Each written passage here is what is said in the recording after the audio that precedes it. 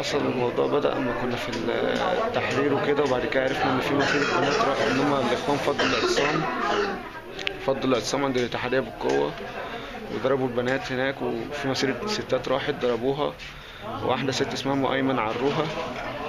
فطبعا اتحركنا رحنا هناك وكده أول ما وصلنا فيش ربع ساعة أو نص ساعة كان حصل اللي حصل إن هو كان واقف في أول صف عشان هما بيهجموا كده بيخطفوا الناس.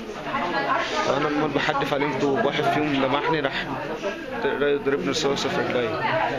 خدت الرصاصة وطلعت أجري. خدتها فوق الركبة بشوية طلعت أجري.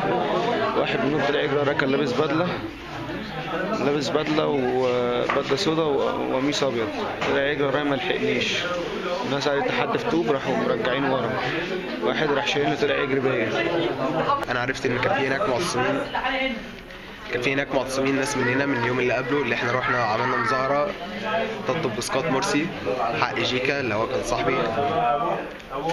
آه جيت ضرب على المعتصمين. عرفنا إن في هناك رحنا لهم كدعم. آه يعني ما ينفعش هم يحصل لهم كده. رحنا لهم. برضو كنا بنهتف يسقط برضو محمد مرسي كمعارضين جم هم لقينا حصل منهم اللي حصل ده.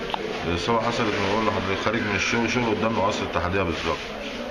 خارج وهو خارج لقى الإخوان والجماعة التانيين عمالين يضربوا بعض. لا- وقع كان معاه زميله وجات له طلقة في دماغه. بيوطي على زميله لقى طلقة جت فيه هو. الإصابة جت في صدره هنا مستقرة في صدره خرم الرئة ركبوني موتوسيكل كده ودوني مستشفى قريبة من هناك مستشفى ما كانش فيها أي تجهيزات قالوا لي لا إحنا كل نقدر نعمله لك هنعمل لك بس رباط ضغط عشان يوقف نزيف الدم عشان هدومي كلها كانت اتغرقت دم عشان الرصاصة دخلت من قدام وطلعت من ورا لحد دلوقتي مفيش. مفيش دكتور حتى أصلا يعني ولا استشاري جه يبص عليه ولا راجل كل اللي جه امتياز.